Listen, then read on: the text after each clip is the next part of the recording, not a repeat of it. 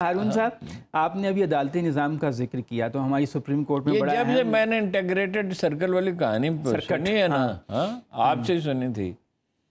मुझे हफ़्ते में एक दो दफ़ा ज़रूर ख्याल आता है कि कोई जगह हो जहाँ आदमी जाके फरियाद करे टेलीविज़न प्रोग्रामों का तब कोई असर नहीं कोई असर नहीं है। नहीं वो खाला इतनी मोटी हो गई वो इरफान कादर साहब ने कहा कि हम इसको नज़रअंदाज कर देंगे। सुप्रीम कोर्ट के। आप नज़रअंदाज कर देंगे तो आइन कहाँ गया? तो पहले आइन कहाँ गया? जो इलेक्शन ही नहीं कराए नब्बे रोज नहीं नहीं उसमें गलती सिर्फ़ उनकी नहीं है। गलती मैं माफ़ी बहुत अदब और एहतराम के साथ और आप हम्म। जानते हैं मैं दिल से उनका एहतराम करता हूँ। मैं रस्मन कोई बात कहने से हमेशा गुरेज करता हूँ जो बात दिल में कोशिश करता हूँ वही कहूँ।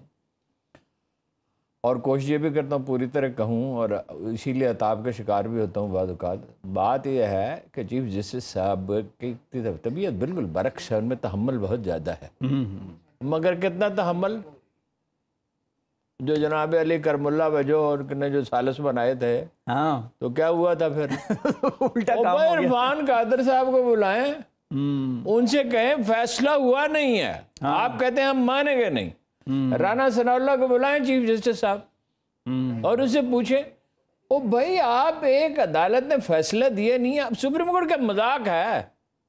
और राना सनाउल्ला ये भी कहते हैं कि वो पार्लियामेंट से उन्होंने बहुत सी जगह ले ली। पार्लियामेंट के पास तो मेरे अंगूठे जितनी जगह भी नहीं है। कभी थी ही नहीं। अच्छा आज वो तो वज़ीर आज़म साहब जो चाहते हैं या जो उनके साथी होते हैं अब अब तो कोलिशन है। हम्म। हैं?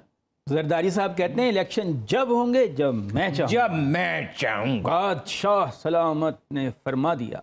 अच्छा हमारे रिपोर्टर हमारे साथ हैं। याद है उन्होंने एक दफ़ा कहा था कि मैं उकाब की तरह उड़ता हूँ एक वाक्य और सुन अच्छा हाँ। वो मजहर शाह भी तो होते थे ना पंजाबी फ़िल्मों के। ना ना ना ये और है। हाँ। ये सेल्फ ओ तो फ़िल्म थी। अच्छा। एक दिन जनरल कैनी साहब ने मुझसे पूछा हम्म। मुझसे कहा पूछने। कि सदर साहब का फ़ोन आया था। और बड़ी लंबी बात की और रात के बारह बजे है। सदर सरदारी साहब। जी। तो जरा गैस करें। कि कितनी बात की होगी? मैंने कहा "सर, मैं गैस करने के बाद आप बता दें कले फिर भी। अब देखो ना सदर बात कर रहा है चीफ ऑफ़ आर्मी स्टाफ के रात के बारह बजे तो कितनी लंबी कर सकता है? उन्होंने कहा लंबी की।